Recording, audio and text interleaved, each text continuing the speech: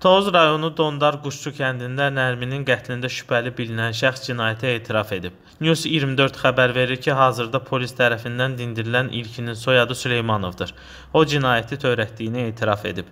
Onun ciddi psixoloji problemi olduğu bildirilir. Xatırladaq ki, 2019-cu ilin noyabrının 21-də itkin düşən Tovuz rayon sakini 2010-cu il təvəllüdlü Nərmin Şərif qızı Quliyevanın meyti Dondar Quşçu kənd ərazisindəki boş sahədə yandırılmış halda aşkarlanmışdı.